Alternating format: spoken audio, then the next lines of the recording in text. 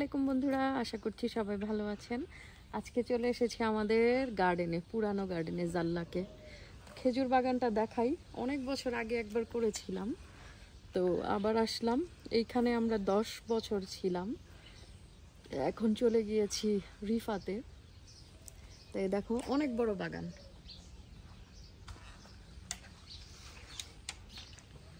অনেক খেজুর গাছ।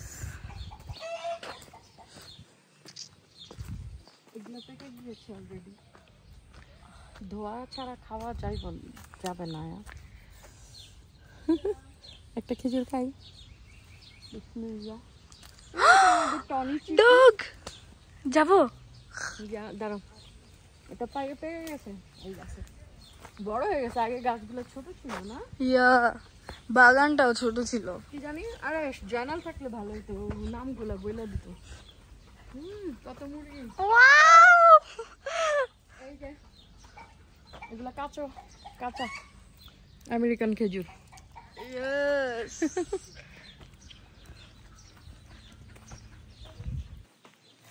ওই যে জনের মামা আসছে।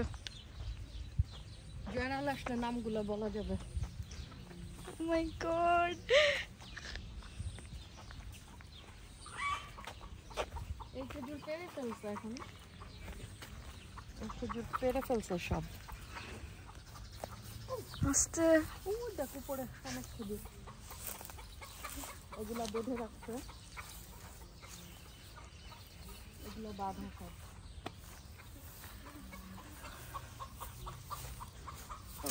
সবটা কি লাগতেছে না?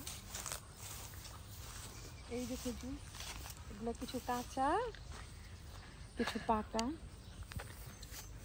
কি যে মজা ফ্রেশ খেজুর। আহ, শান্তি শান্তি। ওই যে এখানে অনেক আছে আরও। এখানে আছে।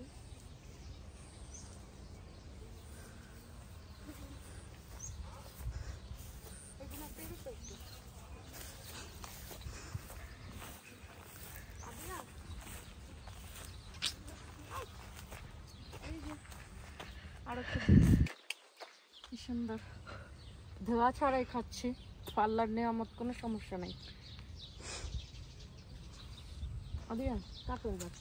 আমার ডালিম গাছটা। কয় বছর হবে ওর? চার, পাঁচ বছর আমার ডালিম গাছটা বেঁচে আছে, আলহামদুলিল্লাহ। অনেক বছর পরে দেখলাম, এই দেখো, ডালিম হয়েও আছে। এই যে দেখো, ডালিম। নিচে পড়েও আছে হয়ে। দেখো ওই যে একটা। আমার এই গাছটা অনেক ফেভারেট অনেক ফেভারেট এর আগে দেখিয়েছিলাম অনেকগুলো ডালিম হয়েছে দুইটা পেলাম। আরও দেখাই আমাদের সফেদা গাছ। এই যে একটা খেজুর গাছ। ছোট। খেজুর। ওইখানে ওইখানে ওইখানে আরও অনেক আছে খেজুর। পেরে ফেলছে অর্ধেকের বেশি কারণ এখন সিজন চলে যাচ্ছে তো এই মাশাআল্লাহ। এই রে সবেদা এই দেখো প্লাস্টিকের দেখা দিয়ে অনেক সবেদা হইছে, মাশাআল্লাহ, যে মিষ্টি এই সবেদা মানে চিনি থেকেও মিষ্টি, এত মিষ্টি এগুলা। এখনও বড় হয় নাই। অনেক হয়েছে অনেক। এখনও পাকে নাই। এটা দেখে তো পাকছে না। না সফেদারই অনেক সফেদা হয়েছে দিয়ে দেখো। ক্লোজ করে। পুরো গাছ। কাঁচা কাঁচা এই যে দেখ কত খেজুরা দিয়া।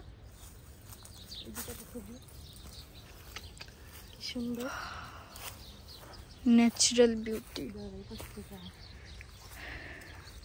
এই দেখো আর ওখানে অনেক পুরা গাছ খুঁজলে পাকা পাওয়া যাবে।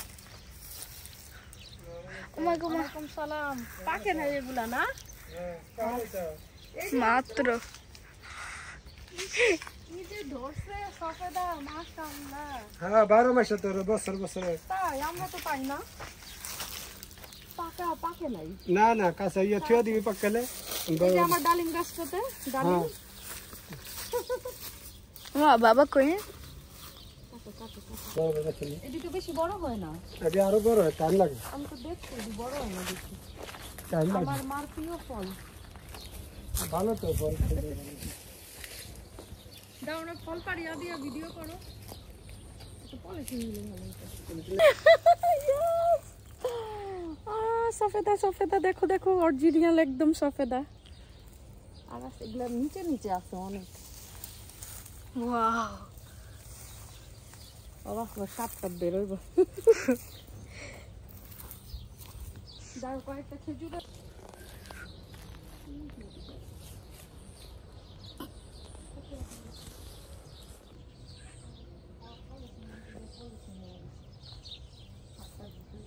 ওই যে আসছে বারহি বারহি আর ওইটা ওটা হলো খালাস। খালাস। খালাস। আর আছে খালাস গাছ এই যে এটা। ছোট খালাস। এই যে ছোট খালাস। দিস ইজ ওই ছোট যে উপরে খালাস। ওইটা? ওইটা কি? ওটা হলো খেনেজি। খেনিজি। এইটা খালাস। হ্যাঁ। আস্তে। আর এই যে বাইন্দা রাখছেন যেটা এটা? হলো খালাস তোমর। খালাস তোমর। তোমর খেজুর বিশেষজ্ঞ। এটা তোমর রাখছে খেনেজি তোমর। মানে খালাস তোমর। কিন্তু এটা বাধা। হ্যাঁ। সেম গাছ আছে?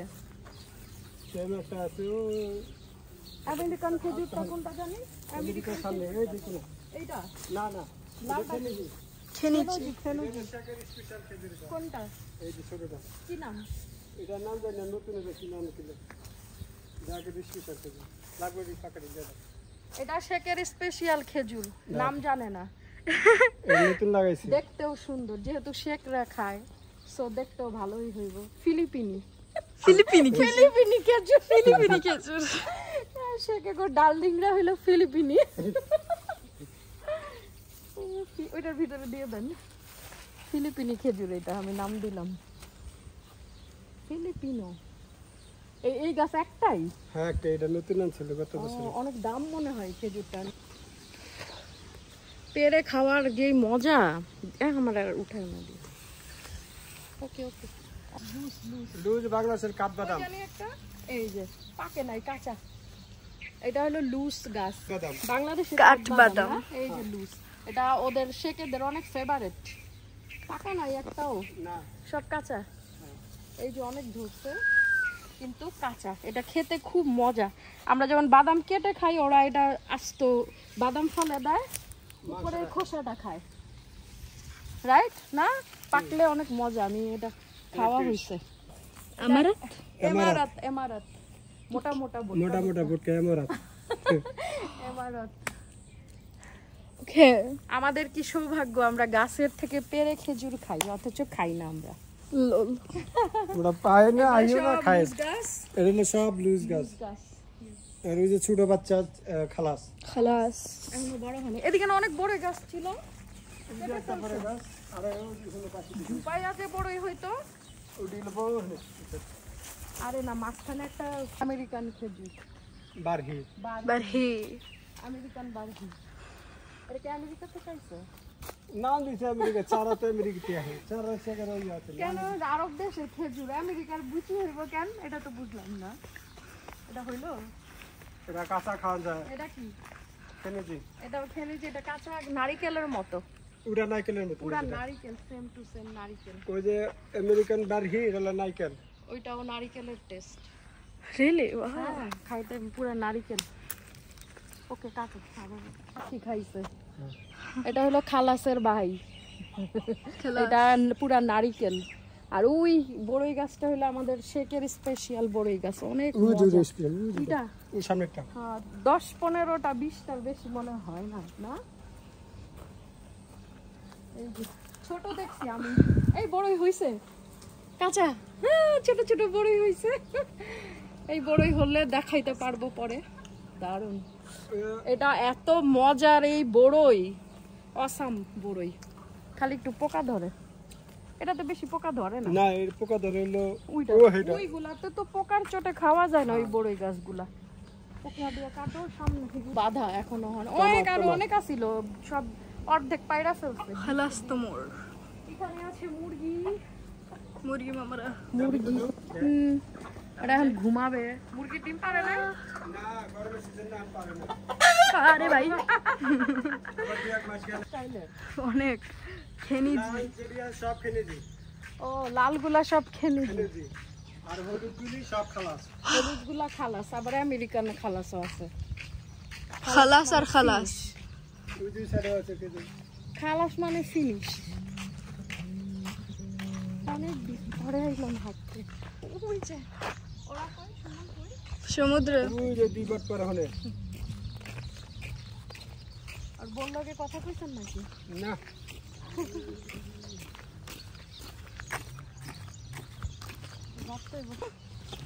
এটা এটা খালাস? এটা খালাস না এটা খালাস না খালাস না জঙ্গলি জঙ্গলি এটা জঙ্গলি জেওলি বাপ এটি বাপ। এখানে টমেটোর নার্সারি ছিল গরমে সব খালাস।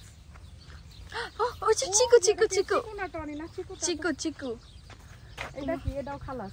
আর সব খালাস। সব খালাসের বাই যে কালার এই কালার যে কটা সব খালাস। অনেক আছে।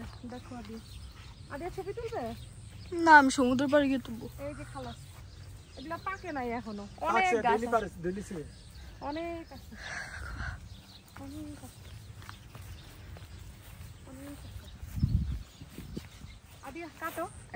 আছে। তো এখন চলে এসেছি আমাদের গার্ডেনের ভিতরে। এটা ওই যেটা খেজুর বাগানটা হচ্ছে সামনে দিয়ে ফ্রন্ট সাইডে আর এটা হচ্ছে ব্যাক সাইডে এখানে হচ্ছে আমাদের সমুদ্রের পাড়। আর এই গার্ডেনটা ছিল অনেক বড় যখন আমরা ছিলাম। তো এই গার্ডেনে আমরা শুরু থেকে বা যখন বাংলাদেশ থেকে এসেছি, শুরু থেকে আমরা এই গার্ডেনেই ছিলাম। তো রিসেন্টলি আমরা দুই আড়াই, তিন বছর ধরে আমরা রিফাতে চলে এসেছি। তো সমুদ্রের পাড়ের সাথেই আমাদের বাসা ছিল। এখানেই বাসাটা ছিল আমাদের। এই রাস্তা দিয়ে আমরা যেতাম বাসায়। তো এখন আমরা বাসায় চলে মানে অনেক বছর পরে ঘুরতে আসলাম। এই যে আমাদের টনি, চিকু, ও নতুন এসেছে জিমি। আমাদের আগের জিমিটা মারা গিয়েছে, যেগুলোর ভিডিও আমার ইউটিউবে সব দেওয়া আছে, সবগুলা ডগির। টনিটাও মারা গিয়েছে। তো এইটা নতুন জিমি এনেছে, আর ওই চিকুটা অনেক আগে থেকেই ও এখনও আছে, কারণ আমরা এখন রিফাতে যে বাসায় থাকি সেই বাসায় তোমার ডগি রাখার মতো ওয়ে নাই কারণ চারটা বাড়ি একসাথে তো তারও আরও বাড়িতে এগুলা রেন্টে দেওয়া সো ওইখানে ডিস্টার্ব হবে। ডগিরা তো অনেক চিল্লাচিল্লি করে দেখো কি করছে। জিমি কিন্তু আমাকে চিনে না সেকেন্ড বার দেখল তারপরে ওরকম করছে আসলে ডগি পালার মজাই আলাদা। ডগিটা পালতে পারলে খুবই প্রভুভক্ত হয় ডগিরা। আর এদের পেলে অনেক মজা পাবে। মানে নিমক হারামের না। তো বিড়াল পেলেও দেখেছি বিড়াল একরকম ডগি একরকম কবুতর পেলেছি মুরগি পেলেছি এখানেই সব।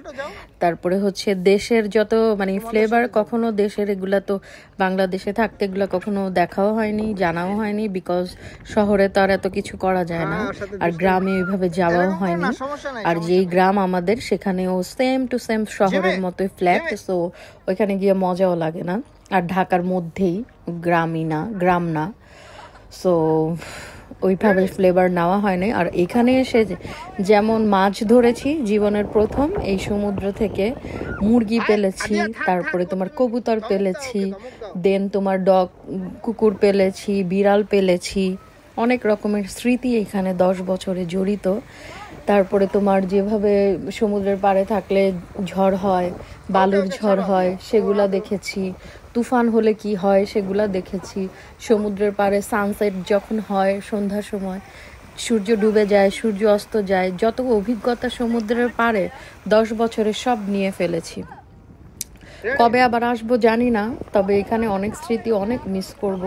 আর বাসাটা যেহেতু একদম সমুদ্রের পাড় ছিল আর কোথাও এরকম বাড়ি হবে কি না ও জানি না।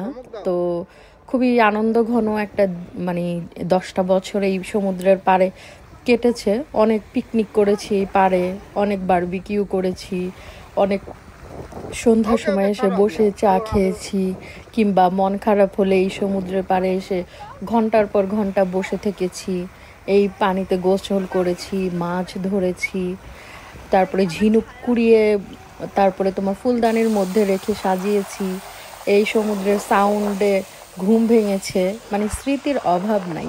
এরকম সৌভাগ্য কার হয় আমি জানি না। আল্লাহর কাছে অনেক শুক্রিয়া যে এরকম সৌভাগ্য বিদেশে এসে হয়েছে।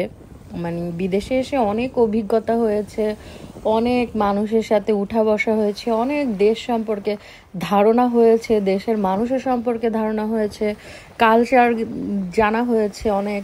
যে কীভাবে কি হয়, যেগুলো বাংলাদেশে থাকতে কখনোই জানতাম না। বাংলাদেশে একটা গণ্ডির মধ্যে থাকতাম। এই একই পরিবার, একই কথাবার্তা, একই বিবেকবোধ। তো বিদেশে আসলে অনেক মানুষের মাথা অনেক খুলে, অনেক অভিজ্ঞতার সম্মুখীন হয়, অনেক দেশের কালচার জানা যায়, অনেক সভ্যতার ইতিহাস জানা যায়, যেটা বই পড়েও যাওয়া, জানা সম্ভব না। তো প্রত্যেকটা দেশের একটা নিজস্ব ঐতিহ্য আছে, একটা নিজস্ব সুন্দর আছে, সম্মান দেওয়ার একটা সৌন্দর্য আছে, সেটা যেই দেশেরই হোক। তো এগুলা শিখতে পারাটাও অনেক কিছু। আমরা তো যার তাকে যা তা বলে ফেলি বাংলাদেশে। কাউকে আমরা মানে ইয়ে করি না, কারও অবদান স্বীকার করতে চাই না। অসম্মান করি, নিজেরা যেটা ভাবি সেটাই প্রয়োগ করার চেষ্টা করি। আসলে তো জীবন এরকম না, পৃথিবী এইরকম না। পৃথিবীতে কোনো জাতি অসম্মানিত হোক, এটা কেউ চায় না। তবে আমরা বাঙালিরা সম্মান দিতে জানি না, এটা সত্য কথা। আমি একটা সময় বাঙালি হিসেবে গর্ব করতাম, খুব ভালো লাগতো যে কেন বিদেশে বাঙালিদের দেখতে পারে না, কিংবা কেন ওদের খারাপ কথা বলে।